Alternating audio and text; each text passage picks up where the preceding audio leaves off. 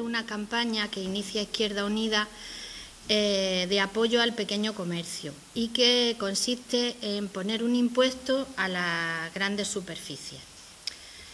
Y bueno, lo argumentamos porque la aportación económica al PIB andaluz eh, del pequeño comercio es de en torno al 12% y porque eh, su capacidad de revitalizar, impulsar y dinamizar la vida social y económica de los municipios pues está, está, mm, está bastante probada. El sector comercial ocupa a casi 500.000 personas en Andalucía, para ser más exactos, 450.000 trabajadores y trabajadoras eh, tienen empleo debido al pequeño comercio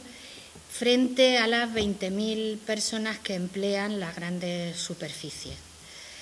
Estas, las grandes superficies, disfrutan de una posición dominante desde el punto de vista competitivo y además en detrimento del pequeño comercio.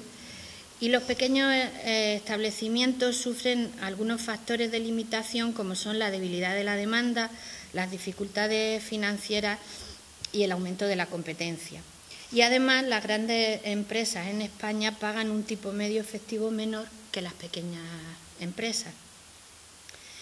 Además hay otro factor importante económico y es que el beneficio que genera el pequeño comercio, el pequeño y mediano comercio, se queda dentro de las ciudades donde están implantados. Sin embargo, el de las grandes superficies, como sabemos, pues no,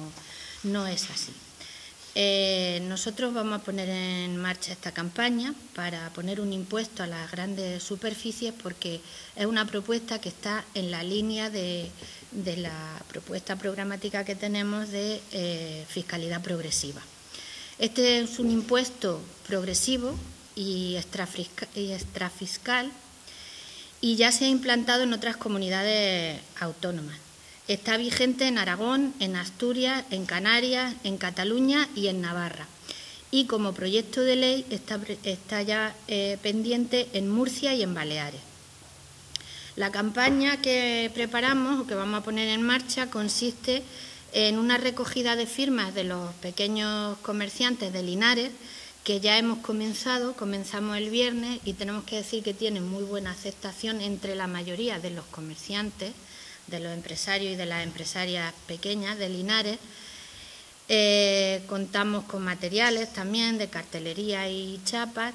Vamos a presentar una moción en el ayuntamiento de apoyo a, este, a la petición de este impuesto y de apoyo al pequeño comercio. Tenemos, estamos teniendo reuniones con los colectivos que,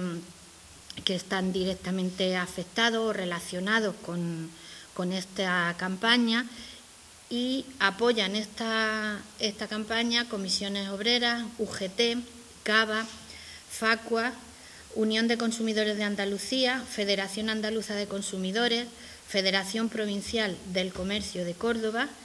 ATAC Andalucía y la Federación de Comercio de Málaga. Nosotros ya hemos tenido reuniones con comisiones obreras y la Cámara de Comercio, concretamente ayer, comisiones que naturalmente apoya la campaña y hoy nos vamos a reunir con Facua y también estamos eh, concretando reuniones con ACIL, con UGT, con CGT, eh, con la Federación de Asociaciones de Vecinos y MILCE y con Mujeres Vecinales de Linares, que pensamos mantener con ellos también una reunión. Para comenzar esta campaña en Linares, mañana asiste el consejero de Comercio y Turismo, Rafael Rodríguez, a una asamblea abierta en la que va a intervenir el consejero y va a asistir también el delegado provincial de Comercio y Turismo, Juan Antonio Sáez. Y eh, después de la intervención del consejero abriremos un turno de palabra, un turno de intervenciones para los asistentes, como ya venimos haciendo en las asambleas anteriores, asambleas abiertas que hemos realizado, para que los asistentes y las asistentes den su opinión, hagan propuestas, planteen las dudas que tienen y cualquier eh, pregunta que, se le, que les surja en el transcurso de la, de la asamblea. Y por todo esto, pues la asamblea será a las 7 de la tarde en el salón de exposiciones del Pósito, a las 7 al final.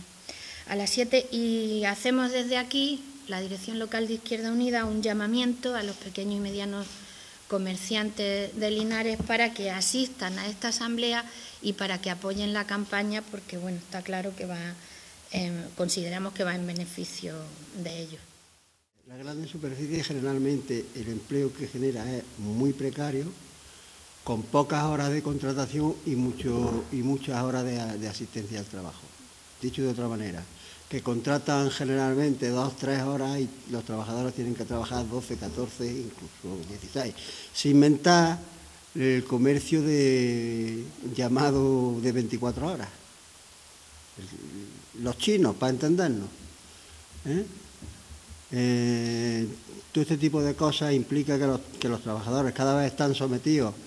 a, uno, a, uno, a unas normas de la empresa, porque además eh, los sindicatos que en la gran superficie están vigentes son los sindicatos estos de la propia empresa, que muchas veces son familiares de los altos cargos, de los gerentes y de todo esto, los sindicatos estos amarillos,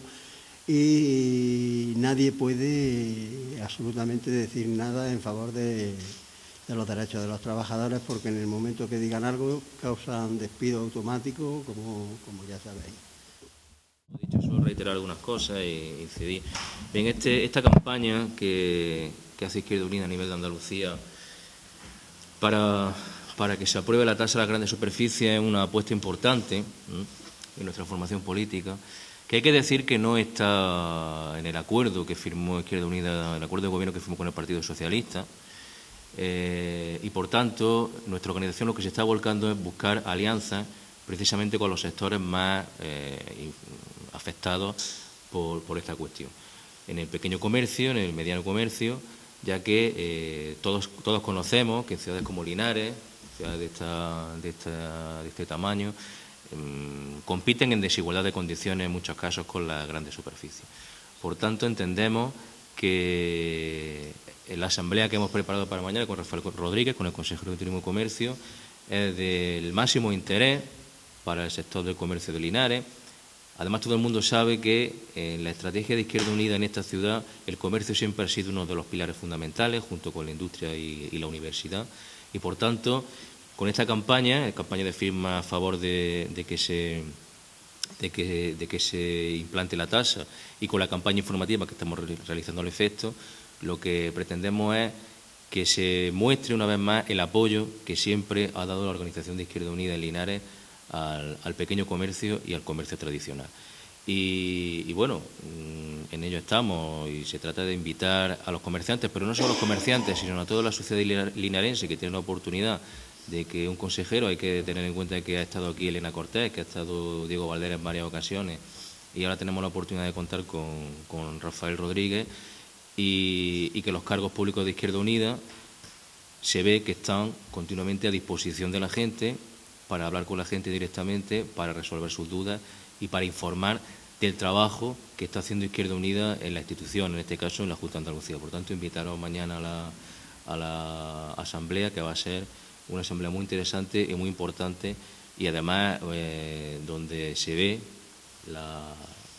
el interés de Izquierda Unida por intentar transformar la sociedad en Andalucía.